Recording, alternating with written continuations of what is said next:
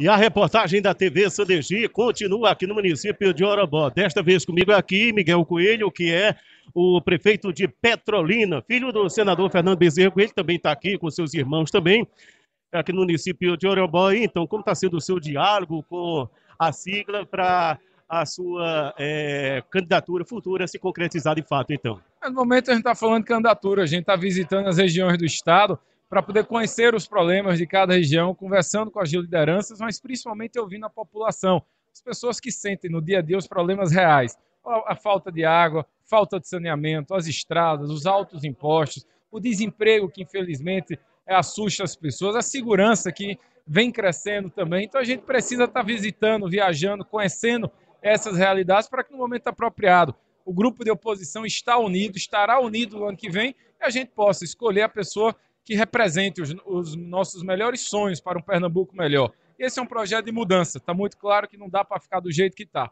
Precisamos projetar Pernambuco para gerar emprego e gerar futuro. É hora de unidade aqui no estado? Sem dúvida, não dá para ter unidade total, né? Unidade do lado de quem não quer o que aí está. Porque Pernambuco hoje é o estado que menos gera emprego, é o estado que menos investe em educação do Nordeste, é o estado que menos investe em estradas, menos investe em abastecimento de água, que é algo tão essencial. Então, o nosso projeto é muito claro: é contra o que aí está, mas não é contra o povo, jamais, é a favor de Pernambuco. Nós queremos fazer um projeto de mudança, mas um projeto que possa plantar esperança na vida das pessoas, no coração.